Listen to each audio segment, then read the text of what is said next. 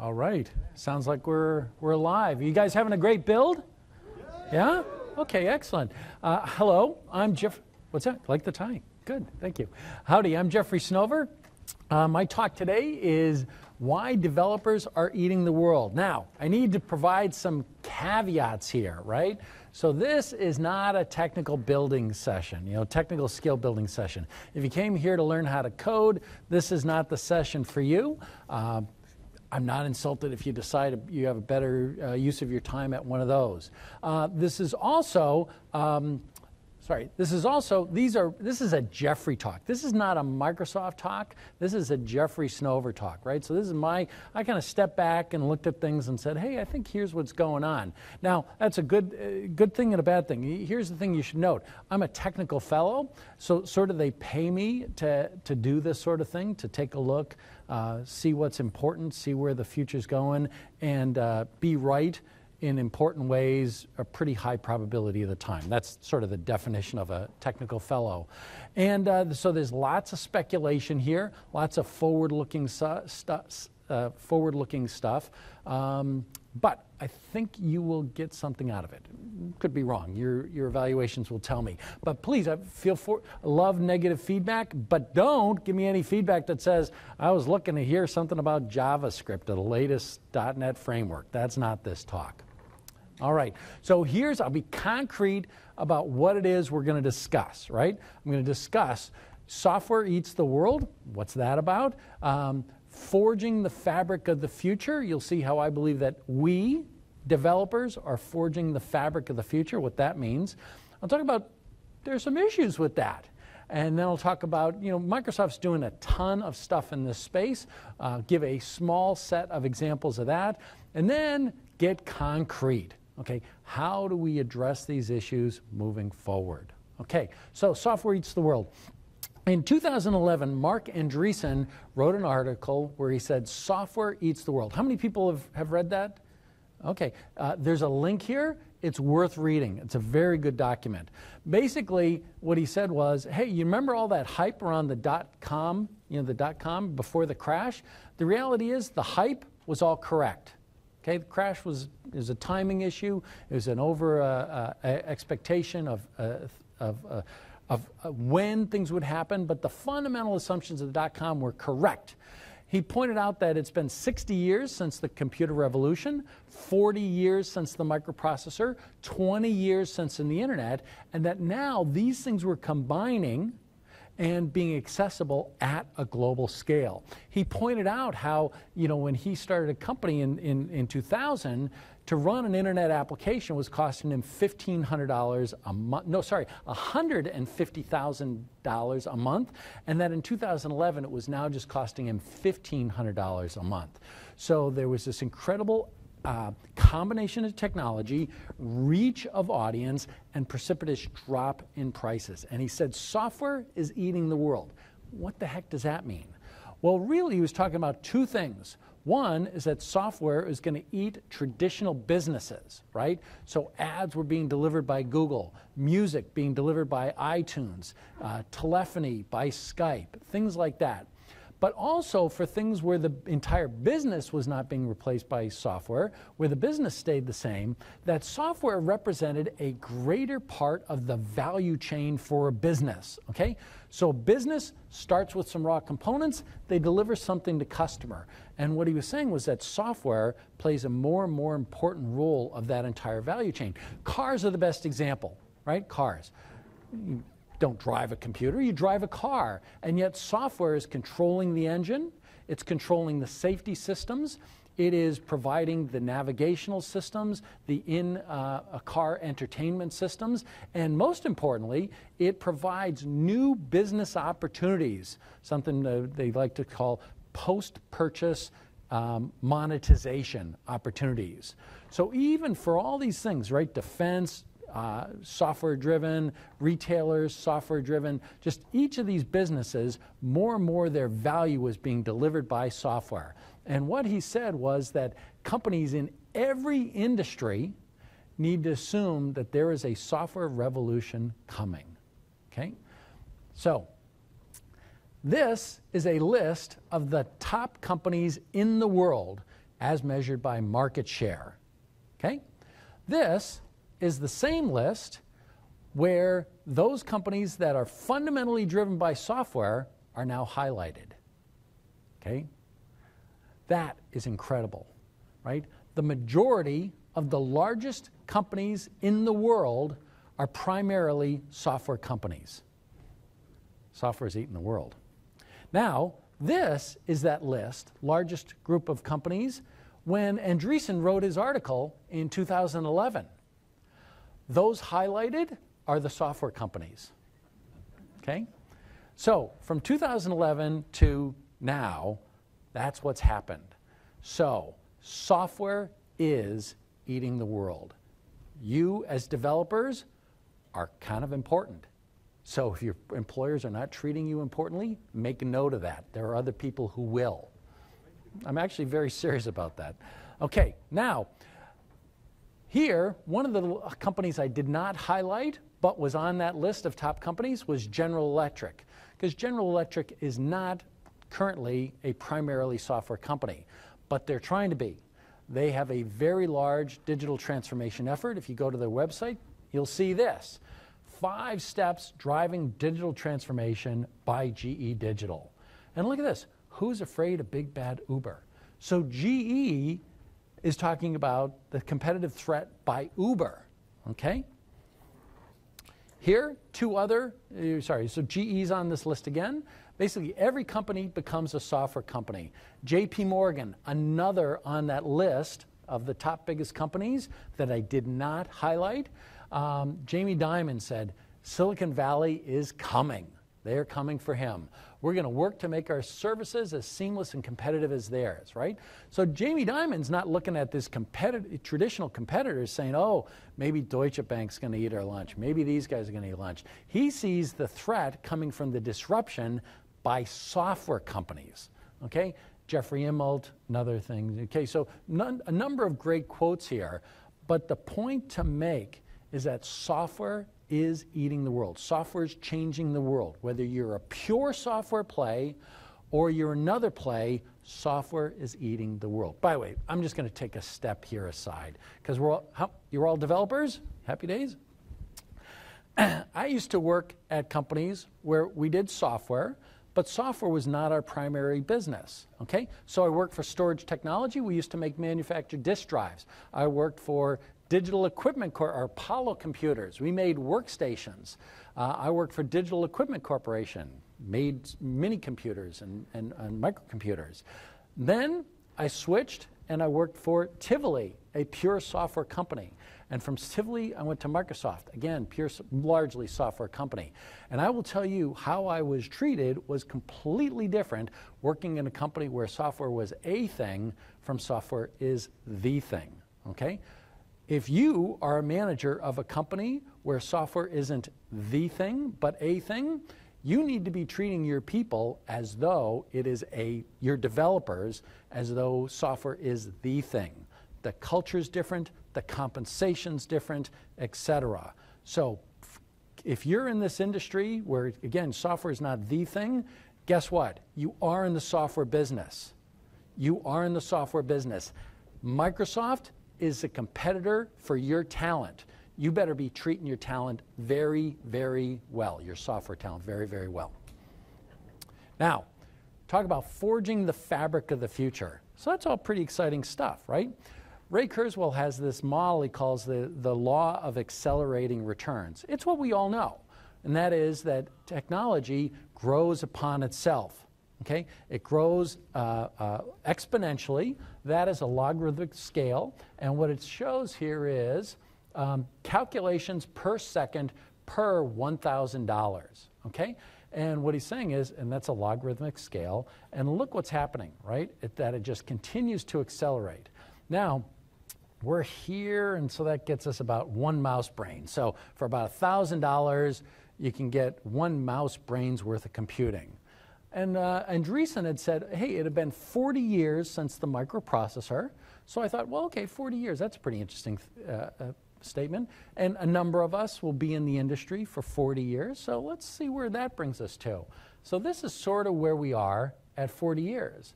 And so what that is saying is, if Kurzweil's right, and he is, um, around you know, uh, 40 years from now, for $1,000, we're going to be able to do purchase a computer which has the compute capacity of all the current human brains in existence.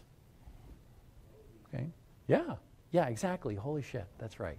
Oops, it's being auto translated. How does this come out? Anyway, you're bad influenced, my friend. Okay, so let's put that in perspective. That's a big deal. Now, where were we going to be in where are we going to be in 40 years? Well, let's talk about where we are today because you know it's important to step back, right? We are all so busy with this problem and that problem and the, the home, pro- you know, et cetera. You need to stop and look at where we are and then think about where we're going because where we are is pretty freaking incredible right now. Azure, Azure is planetary scale compute infrastructure that you can buy and stop using. You can buy VMs in Asia, you can buy VMs in Europe, you can buy VMs in Africa. Just boom, go and get it. Like and then it's available to you in minutes. That's crazy stuff, right? There are over 2.5 billion cell phones today. That's 2.5 billion people that, okay, well, a cell phone, that's a pretty ca- capable thing. But the real power of the cell phone's the other end of the cell phone, right? It's going up to the network, right, into the cloud and consuming, you leveraging hundreds of thousands, millions of cores all delivered to that cell phone. By 2020, we expect over six devices per user. I think that's actually low. I think it'll be high, but maybe on aggregate that's true. So we have smart homes now. Uh, I have one of them. They're not quite smart, but they're getting there. Uh, they are computer controlled, let's call it that way. We uh, definitely have smart grids, and we also have things like smart chemical processing plants. Chemical processing plants. Okay, wait a minute. And what are the trends? Okay, so we see trends like information and education delivery, right? Computers undeniably uh, successful in that area, right? Khan Academy, Pluralsight, um, uh, Lynda.com. Uh, control over more and more of the physical world, okay? Uh, more and more control over biological systems, including real time biological systems, not just intensive care units. People, Scott Hanselman talks about having a, a glucose monitor uh, that's being run on an open source. It's a little bit scary. Um, so, real time biological control systems, attention management systems, surveillance systems, uh, professional cybercrime, nation cyber attacks. Did you get that list? Here are the trends. I mean, with this incredible capability, like, yay, but look at these things, right? Nation state attacks, cybercrime, surveillance, attention management. Think of where you're going to be with these trends, that escalating technology capability, and then 40 years from now, okay? So, here's the observation. Andreessen was right. Software eats the world. But if software eats the world, where'd that software come from? And the answer is developers, right? And what could possibly go wrong? Okay.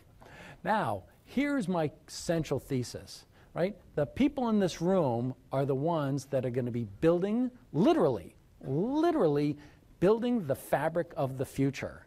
All those things, real-time control, biological control, information uh, delivery, learning, etc. Literally, you are going to be, you know, the, the fabric of the world in 40 years is going to be running on software developed by this group of people, okay? And so we need to stop and ask ourselves, you know, what kind of world do we want to build? Because left unanswered, we just make a set of assumptions and we could build a world that we don't like.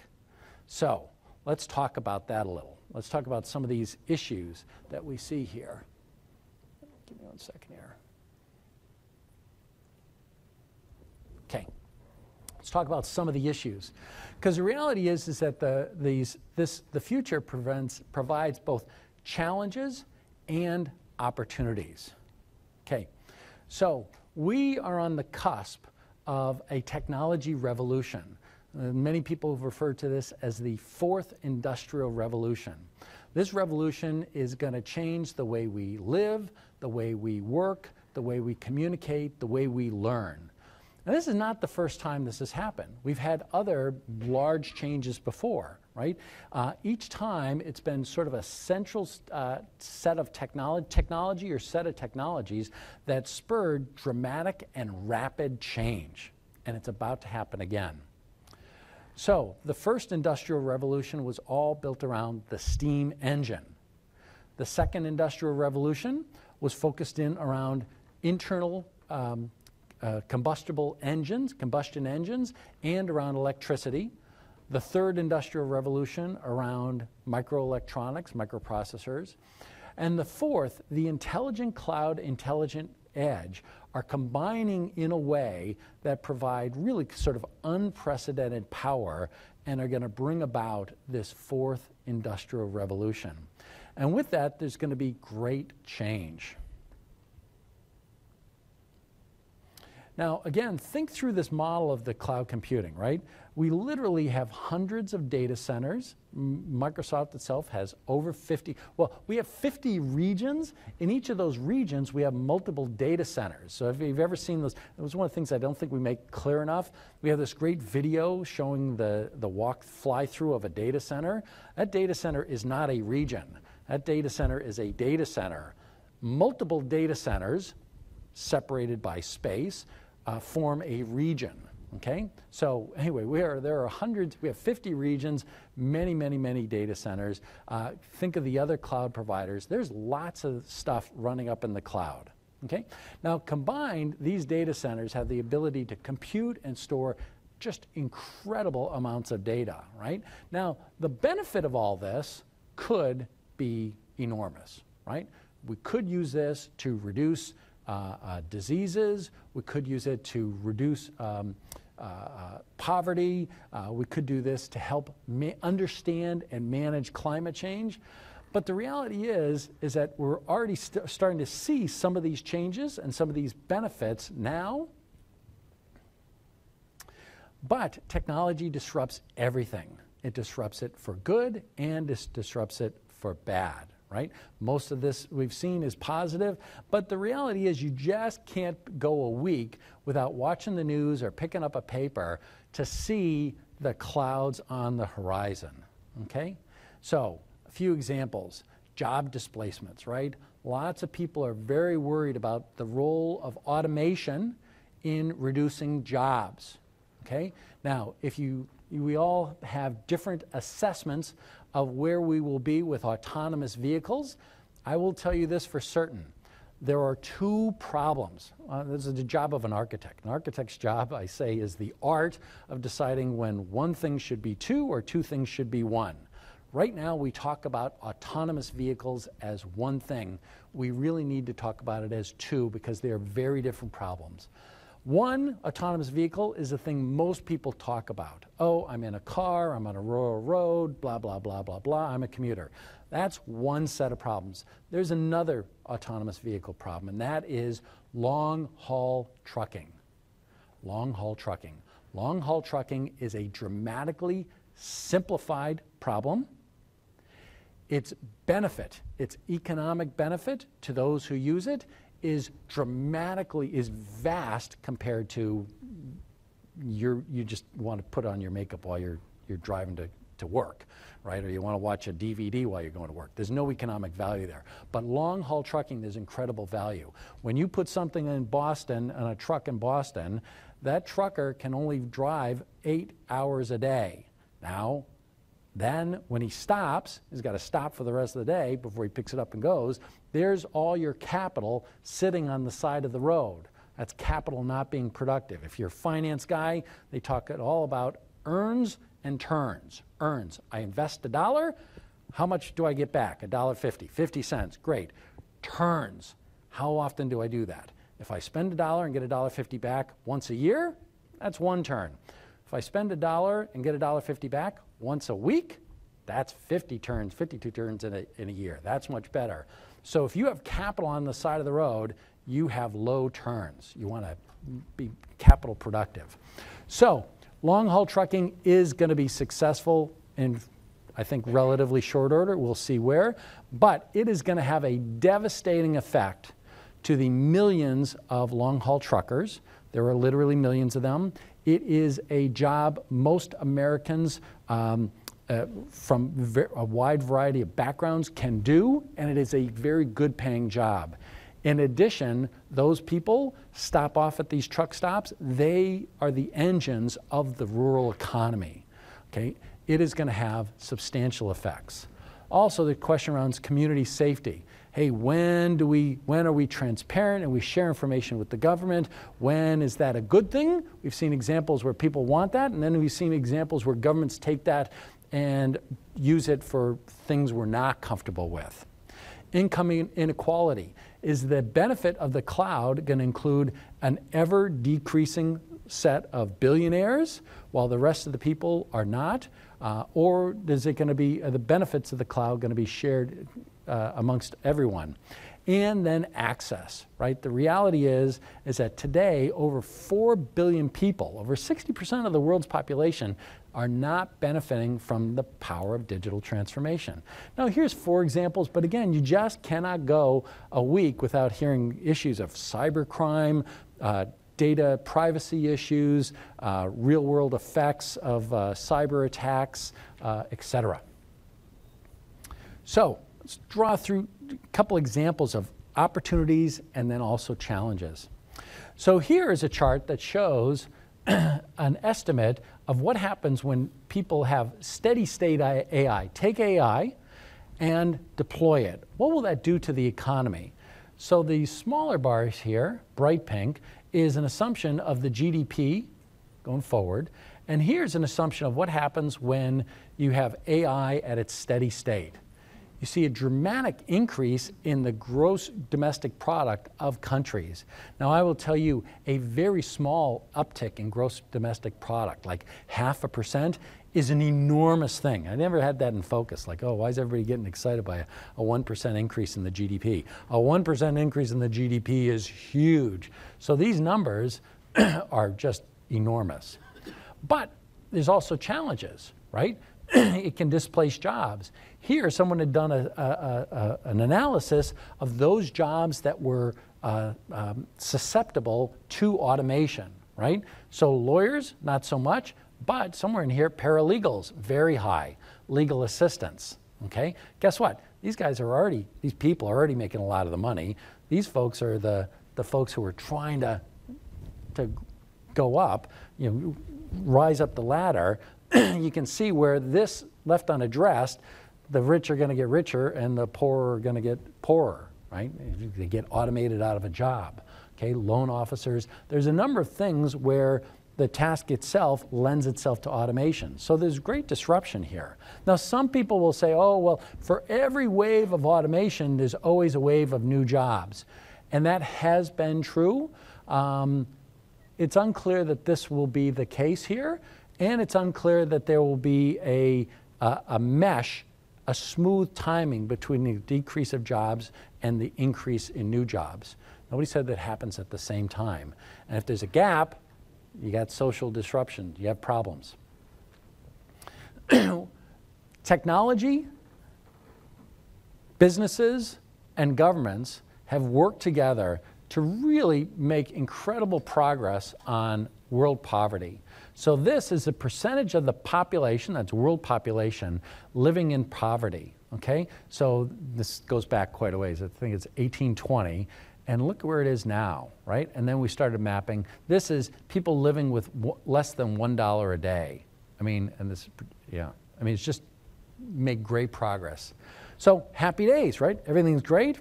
Well, now let's take a look at in, income inequality.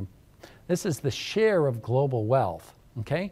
And this is the percentage of global wealth owned by the top 1%. And this is the share owned by everybody else. Okay? That's, that's not quite stable. Here is a list of internet usage, and you just see the access to the internet is exploding. But at the same time, take a look at um, the costs associated with cyber attacks and cyber crime. And I will tell you that that is not, uh, I, I believe that that is not an accurate number. I know that there have been a number of cyber attacks where there have been substantial economic harm that people just shut up about. They don't report. They don't want anybody to know. So in fact, I think this is, is even worse. Now, technology revolutions uh, can be disastrous, right? There are these disruptions, right? There's huge societal changes, uh, and there are the growing pains of the new technology, right? Uh, back in the uh, first industrial revolution, uh, the innovators of the age were called mechanical engineers. And these guys moved fast and broke things. Hmm, sound familiar? But when these guys moved fast and broke things, like lots of people died. Like lots of people died. And in fact, the, um, the American Society of Mechanical Engineers was formed in response to some of the crises of this new era, where these you know, fast movers uh, were going, you know, you had a bunch of cowboys, a bunch of charlatans, and there was a crisis. And basically, the deal between the Mechanical Engineering Society, mechanical engineers, and society, that deal was broken right? And it was not going to work. And so society was either going to change it or the mechanical engineers were going to change it. Mechanical engineers took the initiative, formed the American Society of Mechanical Engineers. They set up uh, standards, they set up safety rules, they set up ethics, and really brought about a change in that industry to make it a technology that could be accepted and was safe for society to, to do.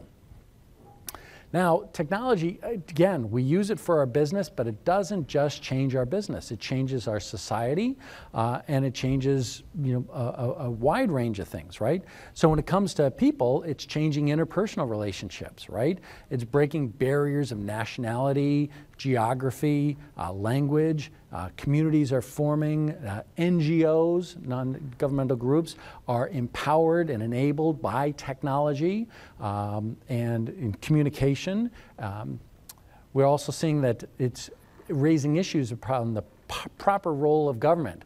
When should government step in? Will regulation kill the golden goose, or will it set down the guidelines to enable uh, free competition, et cetera? A lot of people have a knee-jerk reaction to regulation, and there's a lot of reason for that, right? Often, sometimes these people regulate things that they don't understand and, and can have negative effects.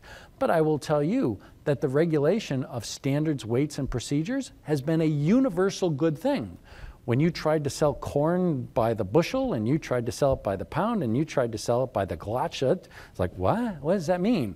And now when we say, hey, here's how we sell things pounds, and this is what a pound is.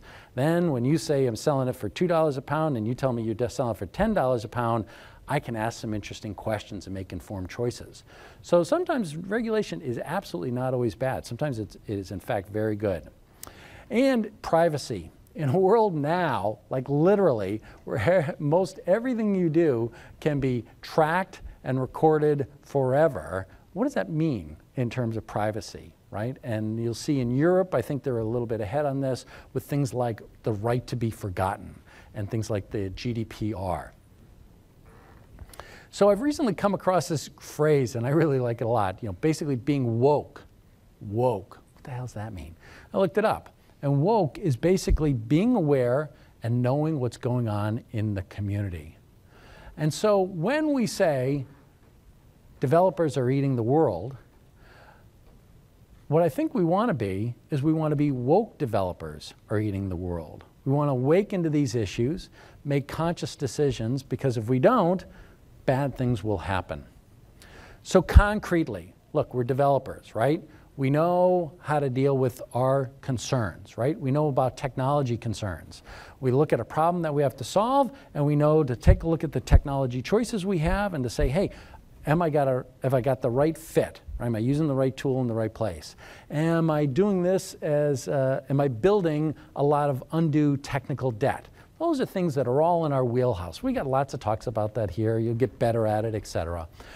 But I'll also tell you that the folks that are very successful in their companies are the ones that are also able to address these issues, right?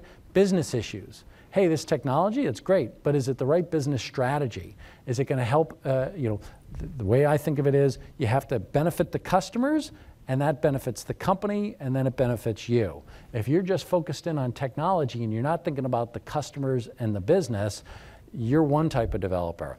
If you're a type of developer who's focused in on the technology and making sure that that technology drives the business and makes your customers successful, you're a much more valuable developer. But what I'm saying is that going forward, we need to incorporate this. And that is to step back and say, hey, what are the societal implications to our technology choices, right? So is this legal? Is it ethical? Um, where, are there users that are being excluded? Um, and does this improve the lives of our users? So disability, you know, we now have, there's some laws around developing software to help and enable people with disabilities. And in the past, we used to think about disabilities as a health condition. But really, that model of thinking is, is going away. And I make the point that uh, addressing these accessibility issues is good. It is good for our society. It is good for those less fortunate than ourselves. And it is good for our business. And that's this enhanced understanding of disability because disability is sometimes a health condition. For example, with touch, you know, somebody might not have all their limbs. But it's also situational, right? A temporary, sorry, tempor a, temporal issue, right? Someone might have a broken arm and they can only use one arm. That's, there are more of those people than people who have lost an arm. But then there's also situational, right? A new parent or someone holding a baby or uh, carrying something in one arm, they only have access to one arm, okay? Those, the solution you provide for one helps enable the other scenarios as well. Sight, the same thing. There are blind people, but then there are people with cataracts, right? There's this thing called the American baby boom, right? Those baby boomers, guess what? They're getting old. Guess what? When you get old, your eyes go to, go to hell. a bunch of those people are going to have cataracts. Here's the question Do you want them to not be your customer, or do you want them to still deliver, get benefit from your products, and you get the monetization from their usage? You got to pay attention to those people because there's a whole wave of them coming. But then think through distracted drivers, right? You don't want the customer, if, if, if, your user interface requires someone to be looking at it, that means it can't be used by a driver. Okay? So you want to think through, hey, how can I deliver my value in a way that helps blind people, help people with cataracts, and increase eh, help with distracted drivers? So again, I want to nail this point. Taking, addressing your software, accommod to accommodating your software to the needs of um, people with varied abilities is not only the right thing to do, it is the right thing to do for your business. And software really is too important to forget about ethics. And this is that point I was trying to make before. If as a profession we don't clean up our act and get our act together, uh, we will get controlled. Just as the, mechan- the deal the mechanical engineers had with society was broken when their practices, et cetera, led to explosions and death, and it was a choice. They were either going to regulate themselves or they were going to be regulated externally. I think the same thing happens is going to happen to us, right? Cyber attacks, attacks against the, the power grid. Hello, McFly? Think about this stuff. This is important stuff. Software controlled chemical processing plants. You know, we got to have, we got to do a better job, my friends. So as you do this, you think through some of these issues, right? When in doubt, you just focus your solutions that amplify human dignity. And that sounds kind of fluffy, kind of light and airy, uh, but in fact, it's actually a really good thing. At Digital, I used to work for Digital, I mentioned that earlier, and at Digital, we had a culture, and it was summed up of a single phrase do the right thing. And I remember joining Digital, I was like, what the heck are you talking about? Do the right thing. How's that actionable? How does that tell me whether I should do this or that and that? And the answer was do the right thing. And the genius of Ken Olsen was he understood that within each of us, we have an innate moral sense. And we're not stupid, right? We know that there's a business here and a customer that needs to be satisfied. And he trusted each of us as individuals to say, hey, when you are in a dilemma, do the right thing. That we would figure it out and we would do the right thing. And sometimes you got that right, and sometimes you get educated about other factors to go into your calculation of doing it right. But it worked incredibly well. And if you search the history of Digital Equipment Corporation, you'll find that it was one of the most progressive and morally ethical companies we've really ever had. Just fantastic leadership there. But the point is, you don't need to be overly complicated. You don't need a detailed spec. Under these conditions, um, don't run over the person. Under these conditions, run them over. You don't need that. Do the right thing, right? When in doubt, amplify. Use this. Pick the solution that amplifies human dignity. Lots, I'm going to drill in, there are lots of aspects here that I've talked about security, privacy, et cetera. AI has on fire, right? If you haven't, if you have not up on current news, AI is on fire. There's an incredible amount of optimism around AI. Let me show you a, a tape, and by the way, I share this. It, it is incredibly cool stuff.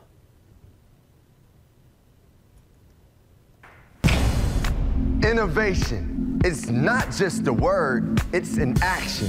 With artificial intelligence, we are not crawling or walking or running, we are flying. Today, Microsoft AI helps an architect bring history back to life. He doesn't see data, he sees fragments of our past. This is now. Artificial intelligence helps farmers grow more food with less resources. She's not collecting information. She's feeding a growing population without wrecking the planet. This is real. An engineer explores how AI could help the deaf see sound. She's not looking at obstacles. She's staring down opportunity. Innovation doesn't see the possibility of tomorrow. It creates tomorrow. And are you ready for the headline? Tomorrow is here today.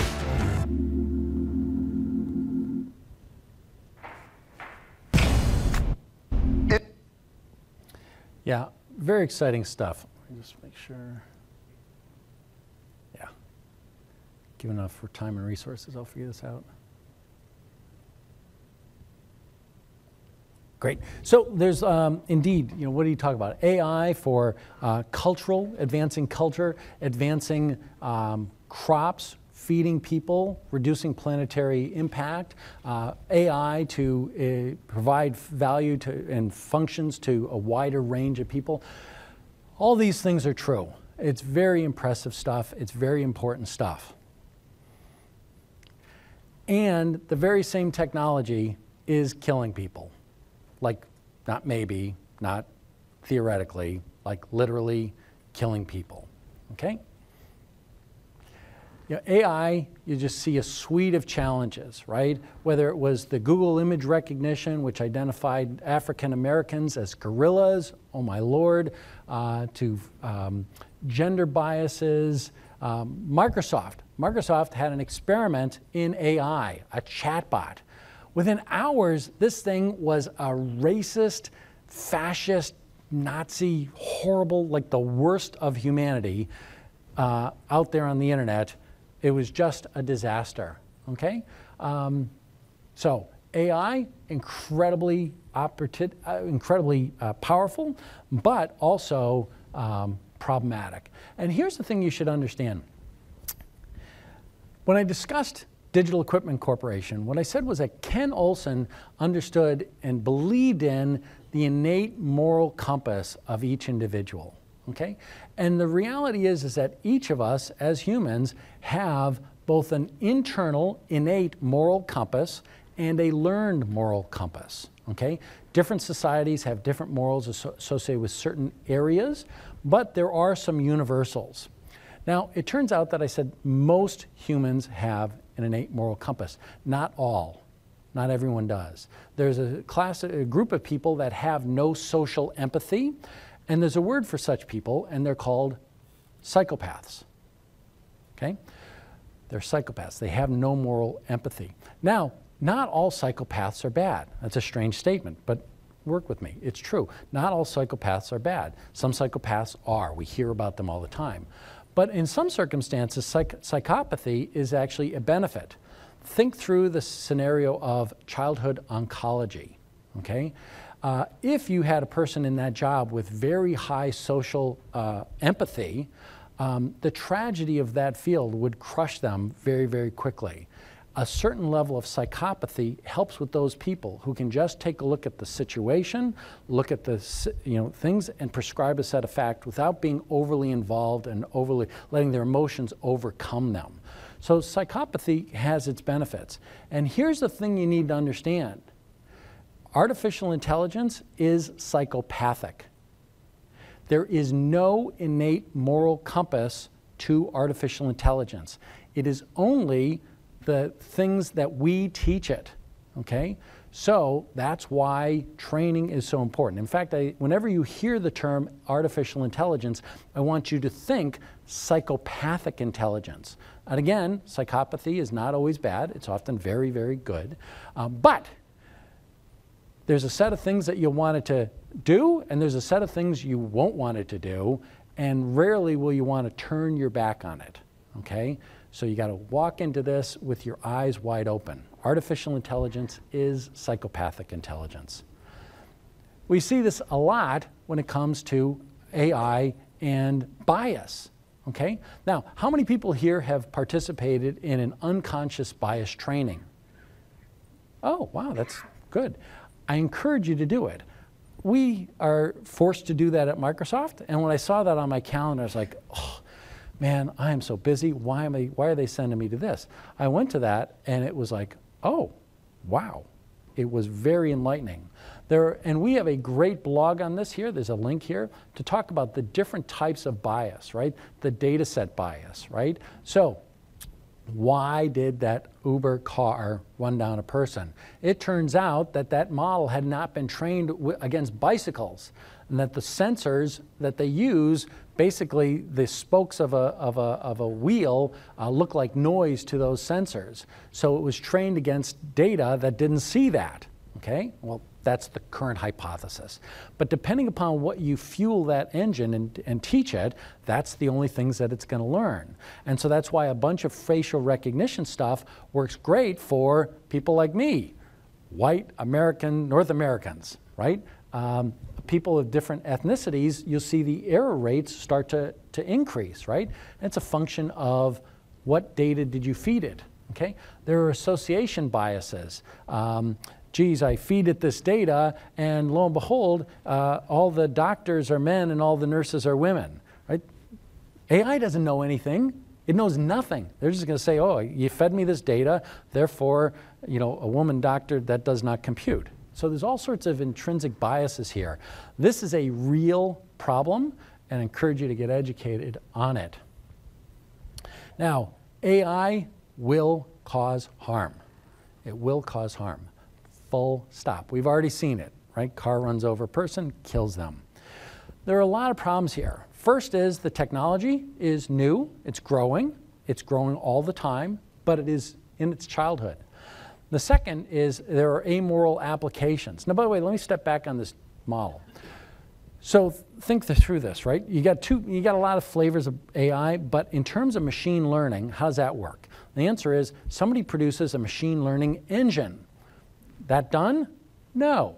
It's continually updated. Okay, so that AI engine's continually updated. Then somebody takes data, cases, and they teach the AI engine. Okay, so of the entirety of the world, you take a subset of that and you feed it to this engine. It somehow learns something. I will tell you this you cannot tell what it's learning, full stop. You can't. You can't. Then someone's going to take a new case present it to this engine, and a decision will be made. And someone's going to get killed. Now, who's to blame? Who's to blame? And I will tell you that it is pretty close to, mm, people will differ on this point. It'll be either virtually impossible or metaphysically impossible. I'm on the metaphysically impossible page. I believe that it will be metaphysically impossible to uh, to ascribe blame to that effect because the engine is continually updating. We don't really know the process by which this engine takes this data and forms a model. I mean, as crazy as that sounds, it is true. We do not know how this works. And then when we match it, we don't really know what it is about that new data that made it make a decision. You will not be able to know, and somebody's going to get hurt. And the challenge with this is that, that if we don't get ahead of this, um, the societal backlash could hurt everyone. Now, someone will say, oh, an autonomous car killed somebody. We can't have autonomous cars killing people. Well, yeah, that's true. Bad thing. On the other hand, I truly believe that when we get this technology worked out, the number of people killed by autonomous cars will be dramatically lower than the number of people killed by cars driven by you people, right? You're distracted, you're looking at your phone, the kids are yelling at you, you're thinking about that review you just had or the bad uh, fight you had with your spouse, um, it's dark, etc. People kill a lot of people driving cars. And I believe that with autonomous cars, there'll be fewer people that are died. They will die, but there'll be fewer.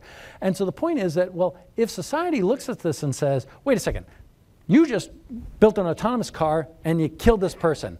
Why? And we say, dude, it's technology. You don't know. That is not going to work. Right? They're going to say, what the hell? What? Are you serious? And they're going to shut that down. And as a result, if that happens, more people will die. So we need a better answer. And these are hard problems. By the way, here's the net of it. I'm drilling in. The net of it is we as a group need to think about these hard problems and address them. And the, the good thing is that we've got some prior art. And in particular, there's things like the Underwriters Lab and the Vaccine Court. And I think that these provide very good models. Okay? Now, just as I had mentioned the Society for American um, uh, Mechanical Engineers, there was uh, uh, uh, an electrical engineer who went to the Chicago World's Fair, and what he saw there uh, horrified him. So basically, he was there to inspect uh, electrical systems to prevent fires, right? It's one of the largest attended events in the world, uh, even to this day it was, uh, and a fire could be devastating. So he got in there, and what he realized was that they were at the same era, they were about to have the same problems that the mechanical engineers had. And so he set up Underwriters Laboratories. So Underwriters Laboratories established, they are effectively in the trust engineering business, the trust engineering business, okay? So what does it say? Underwriters Labs helps companies, helps companies demonstrate safety, confirm compliance, enhance stability, manage transparency, deliver quality and performance, strengthen security, protect brand reputation, build workplace excellence, and advance society well-being. So Underwriters Laboratory eh, establishes these standards, ethical and electrical, that everything you buy has, right?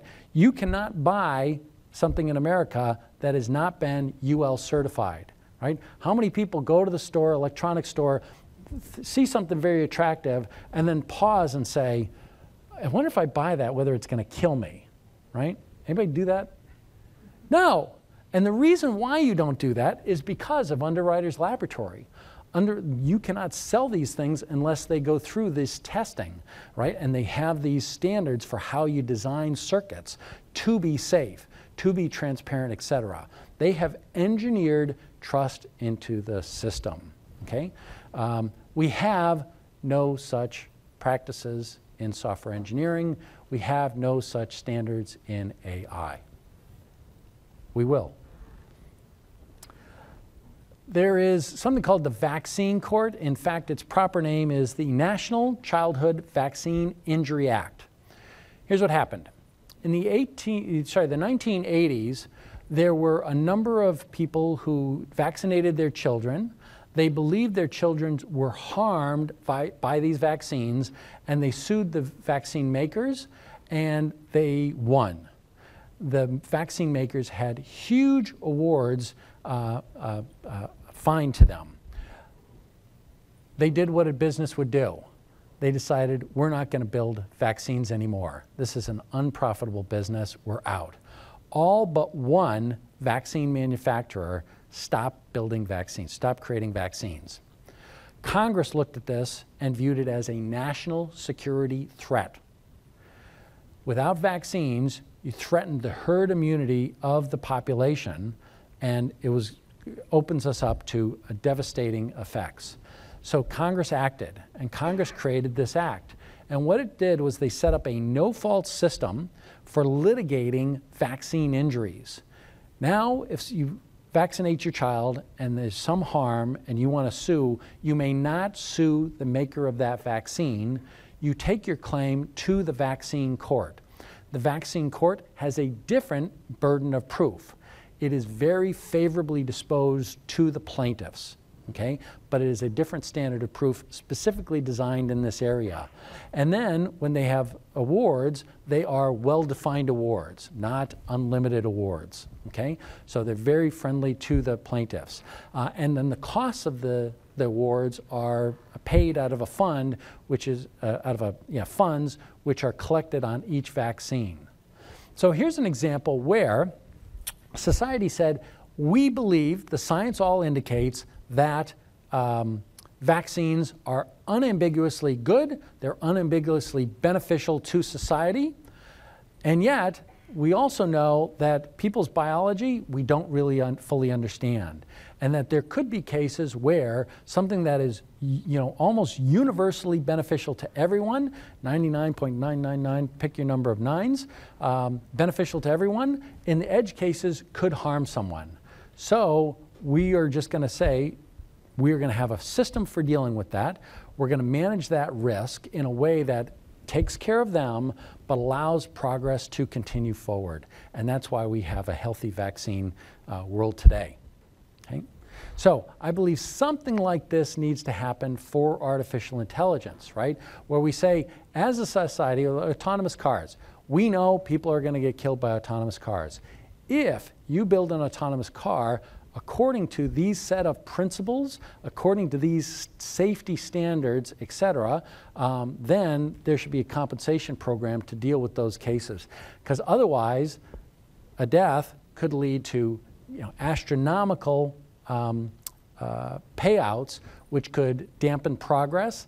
Dampening progress could then kill more people by having more people still drive their cars. So what is Microsoft doing? Microsoft is doing an incredible amount in this area. It's one of the things I like the most about Microsoft. We've got a president, Brad Smith, who's incredibly active in this stuff. Uh, and just doing a great job. I think you meant, heard Satya today mention that when it came to that uh, protecting, you know, balancing the governmental right to information or demand for information against our customers' privacy, uh, we have sued the U.S. government four times and gone to the Supreme Court on one of those cases to protect, um, protect our users. Microsoft is very active in this. I'm going to talk about just a couple examples. This was our original mission statement, right? Look at that, that suave guy there. Our mission was a computer on every desk and in every home running Microsoft software. There are two things I want you to note here. First is it's focused in on what? Technology. And then who? Us. This is our new mission statement to empower every person and every organization on the planet to achieve more. Notice that this is focusing in on advancing the achievements of people and their businesses. It's a very different company, very different mission. As we pursue the cloud, we're trying to pursue, we have a, a wide range of initiatives to make sure that this cloud, which again is building the fabric of the future, is a trusted, responsible, and inclusive cloud right? So I mentioned to you the, the lawsuits that we have, protecting our users' information. Um, responsible cloud, we go out of our way to use clean energy and be carbon neutral as much as possible. Um, and amplifying human ingenuity through uh, artificial intelligence. We have a different point of view on artificial intelligence from our competitors. Uh, we're very clear on that. And then in terms of an inclusive cloud, uh, we focus in on things like um, you know, making sure that it's useful for people with disabilities. And, sorry, and, and that it is affordable and ubiquitous broadband access. Now that's one of the areas I want to drill in on. Today, 34 million Americans don't have access to broadband. 34 million, American, million Americans don't have access to broadband. Most of those are in rural communities. Okay? This is a map of broadband access. look, American political system is seen, uh, there's a lot of turmoil in our system. A lot of it comes because people in what are referred to as the flyover states are not fully participating in the, the benefits of our digital society. Okay? And they feel that and they aren't. So, Microsoft has a clear goal to try and help with this. We want to close the rural broad, broadband gap within five years. So let me show you a video of this Microsoft Rural Airband Initiative.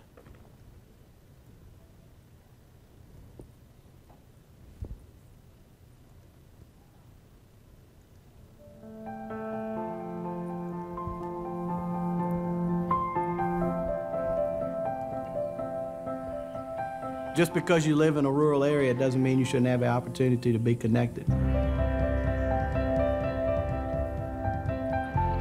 That was about, I'd say, ninth grade year is when I began taking college classes through dual enrollment.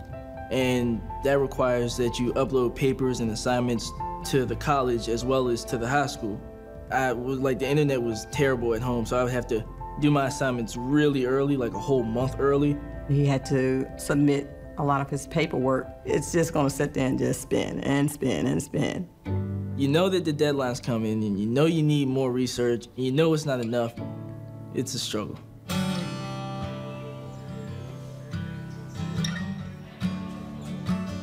In the beginning of the semester, one of the questions I asked the students, uh, uh, just a show of hands, who, uh, who has internet access? And typically, uh, just a, a few right there, that, that tells me that I have to be a little limited in any kind of homework assignment I give. It's a handicap for teachers in, in the 21st century. I mean, here we are, hands are kind of tied. The homework gap is a major problem for our region. And the exciting part is that Charlotte and Halifax County, our two pilot areas, are no longer going to be left behind in this digital divide.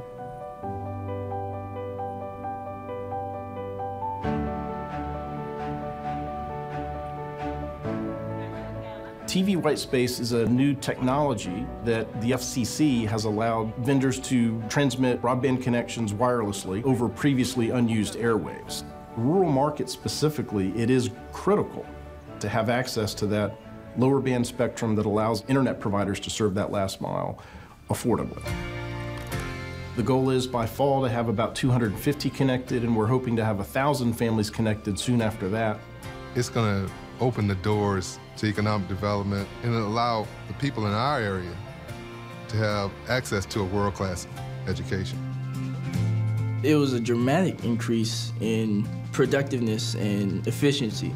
Dylan has a small antenna uh, at his home, which is connected to a TV white space device, turns on his laptop, connects via Wi-Fi. I don't know the tech side. All I know is it works.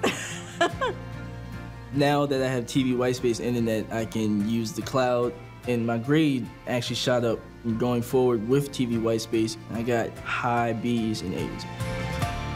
This is where I grew up and I love it. I'm a country girl. Just train our kids so they can stay home and have that knowledge and then they can bring it back here so that our community can grow.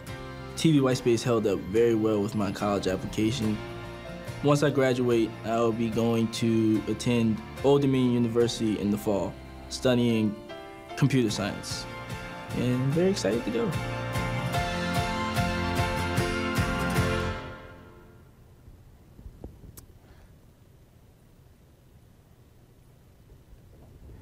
Yes, that's our Air Airband initiative. I, am really quite, I like that. So this is all great stuff. But at the end of the day, you know, you go to these conferences and you hear about digital transformation and all this wonderful stuff. And I don't know about you, but often you get back and you're like, oh, but what do I do with that?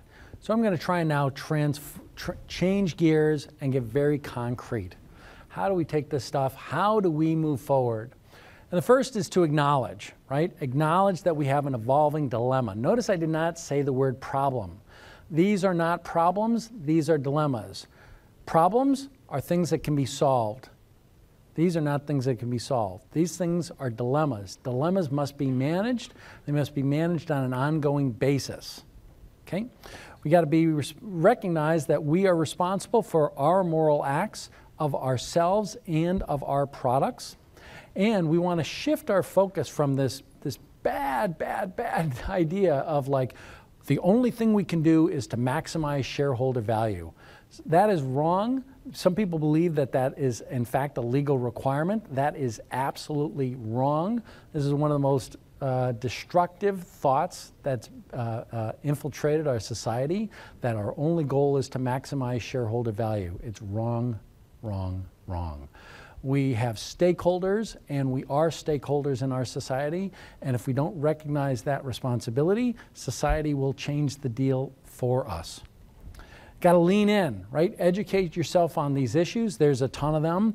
And then participate, whether it's in the industry, whether it's social or political process. I believe that there will be regulations required in, with, between now and the next 40 years. There's no doubt about that.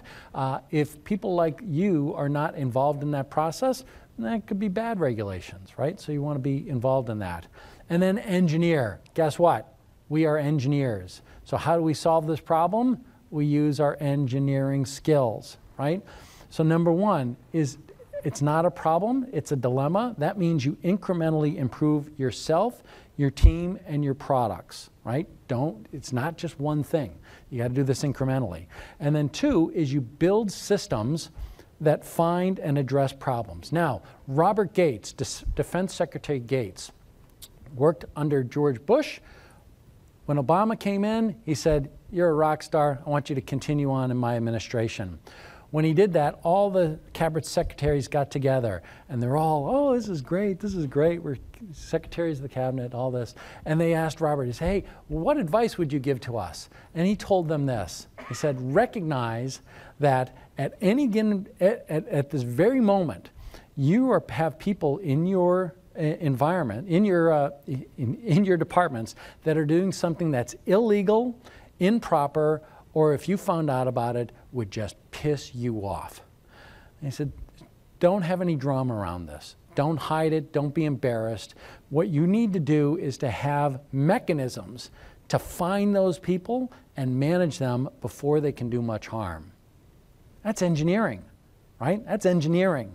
Don't hide the problem. Don't pretend it doesn't there. Don't sweep it under the rugs. Have a system, find the problem, fix the problem.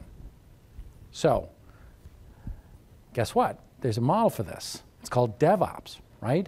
In the past, right, software, no, seriously, in the past, software development was really this sort of semi organizational, semi organized craftsmanship that somehow got out the door.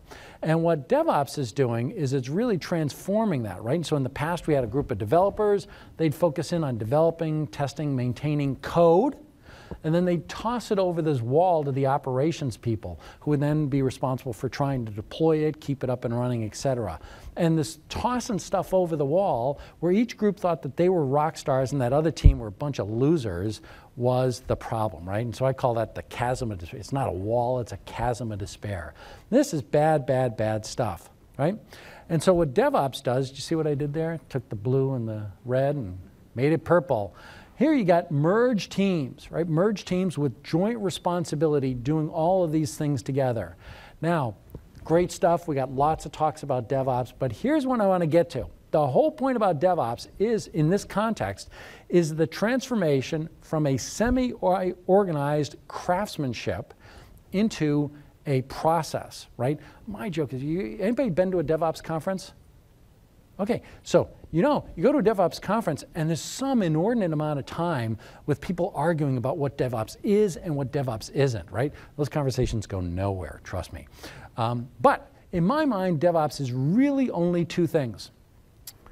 It is one, do your work in small batches more frequently so you can learn. And number two, stop being a jerk to your coworkers. That's really all it is. I'm serious. Now, this do work in small batches more frequently. There's a theory behind it. And Sam Guckenheimer calls this the law of the thirds. And that is the job here is to listen to the customers, have a hypothesis about what's going to move the needle, or have some measurement customer value, ethics, inclusion, whatever. Have some measurement, have a hypothesis for how to improve that measurement, act upon that, remeasure. If that, one of three things is going to be the case. Your measurement got improved, your measurement got worse, or it didn't change. If it improved, happy days, beer all around. If it got worse, back that thing out. Now, again, if you back it out, that's one of the processes. Uh, you don't want to have invested three years. You want to invested, you know, three days to back it out. And if it uh, doesn't make any change, do whatever. And then what you do is you do it again and again and again and again and again, right? So this is process engineering. Okay, now that is literally the task. This is how we take these big, airy ideas and turn it into deliverables, and it's process engineering. I used to be, my start of my career as a process engineer at Storage Technology, building disk drives. Here's how you do it. You, have a def, you define a repeatable set of steps and you measure the outcomes of those steps. You don't just say, hey, everybody, let's build some disk drives. Like, no, you take this part and you do this to it and you give it to him, you do this to it, you do, okay, you have defined those. Then you make those steps smaller and you do them faster.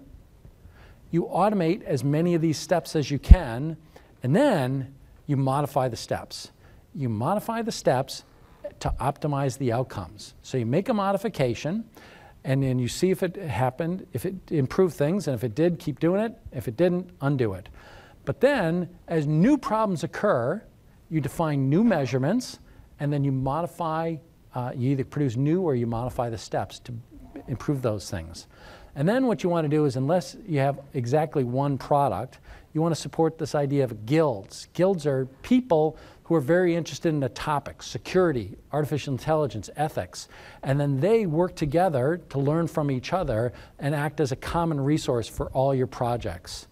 And then, just as if you're a software person, if you work in software, almost assuredly we do, hopefully you do too, have a process by which you have continuous patent reviews.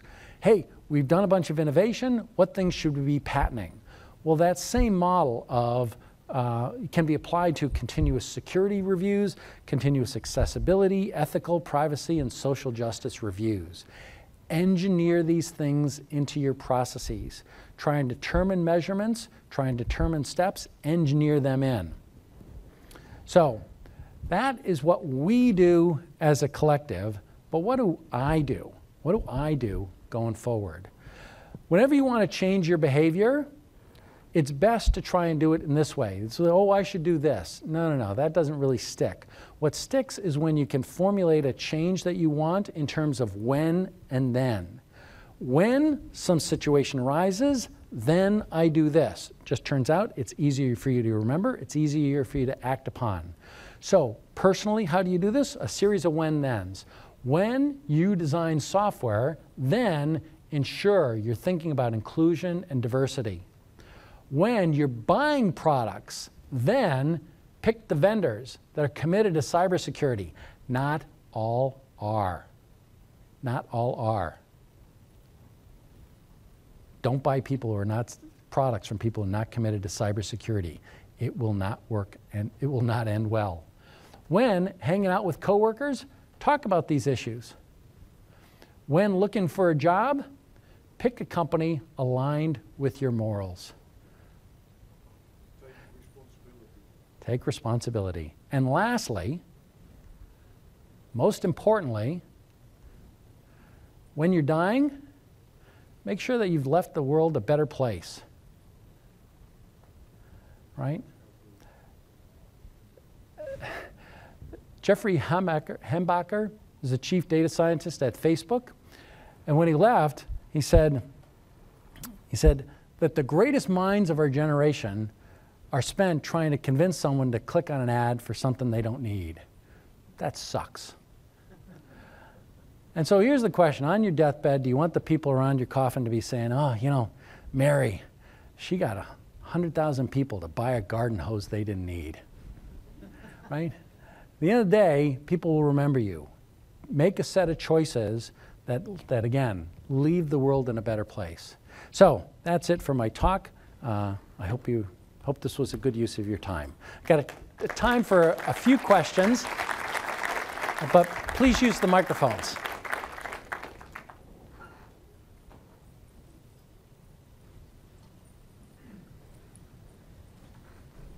Thanks. I, I appreciate everything you had to say. Um, so my question is uh, actually directly relates to the current Microsoft slogan. So that idea of empowering people to achieve more, my question is, who's left to direct what we choose to achieve?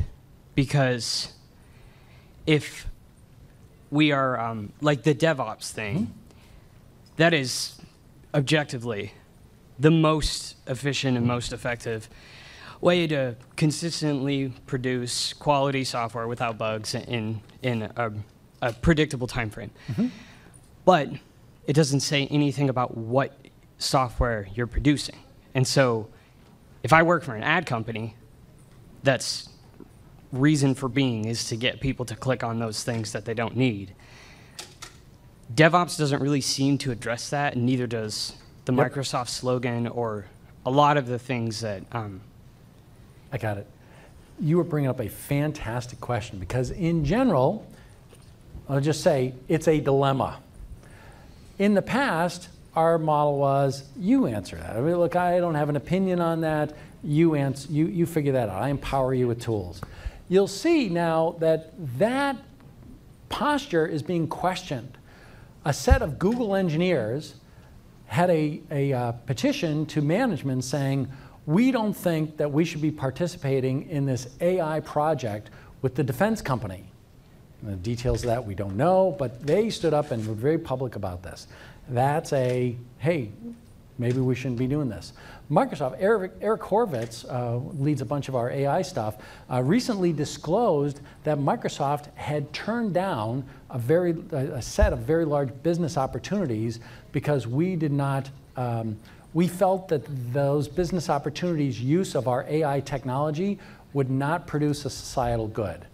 Details, I don't know. I'm not sure I want to know. But um, that issue of who answers what we should be achieving more with, in the past, it's just been that's up to you. And now you see companies having more and more of an opinion about that. Watch that space. I think it's one of those things that, again, uh, will evolve over time. Got time for one more question.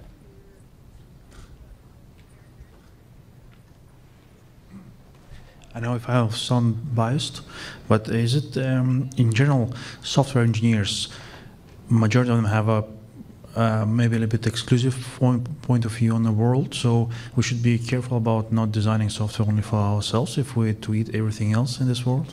I don't know if you mentioned this anything like that while you present. Say it again. That the, the software engineers have a point of view. Um, so I mean that if we had to design in like Yeah. a software to eat everything in this world, so we should be also accounted think about all like creative people or people who are not engineers. Yes, absolutely.